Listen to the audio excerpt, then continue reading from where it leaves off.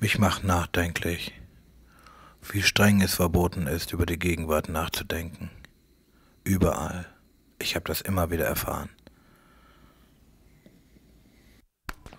Mich wie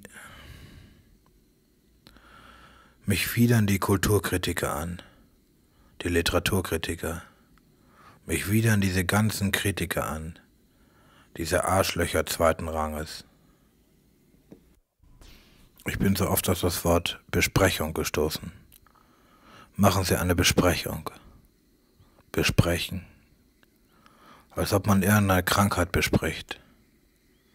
Man bespricht irgendwas. Besprechen. Hier. Warum könnt ihr denn alle nicht mehr richtig genau sehen? Mit all eurem ganzen Körper. Warum könnt ihr das denn nicht mehr?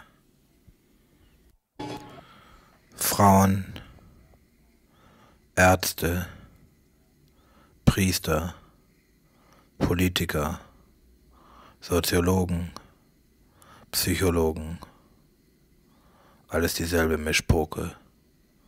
Dazu kommen noch Rockmusiker und Filmstars. Die gleiche Mischpoke. Alles ein einziges Vormachen. Und was machen sie vor? Fummel. Fummel und Fetzen. Eine Einzelheit. Ich ging an einem kleinen Bach vorbei und in diesen kleinen Bach hat eine Betonröhre gemündet und aus dieser Betonröhre floss Blut.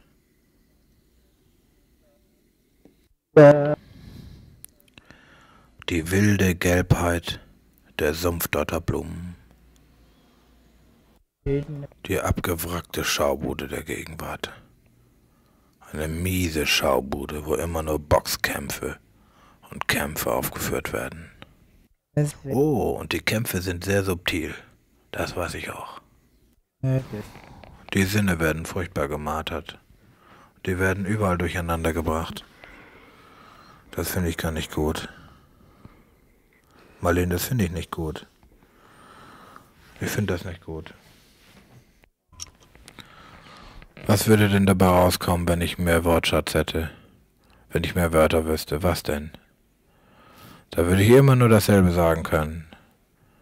Nämlich das, was da ist, das ist so primitiv und doof.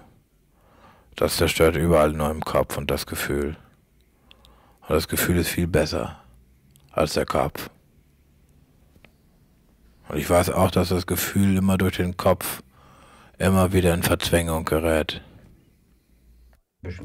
Was wollt ihr mich denn belehren? Ihr wollt mich belehren? Ihr über eure Realität. Mein Gott, ihr habt nur Wörter zur Verfügung. Euer Gott sind Wörter. Das ist aber nur ein Lokuspapier, ne? Wollt ihr denn alle schlafen? Wollt ihr immer weiter schlafen?